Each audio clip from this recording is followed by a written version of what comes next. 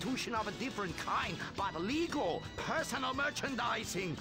Oh, it makes my loins ache. Oh, this is so exciting. Never in my years of being a blind androgynous child with a huge sword could I have imagined such wonders. Yes, truly the script writers have reached new heights. Time for an incongruous clip of an arousing girl fight.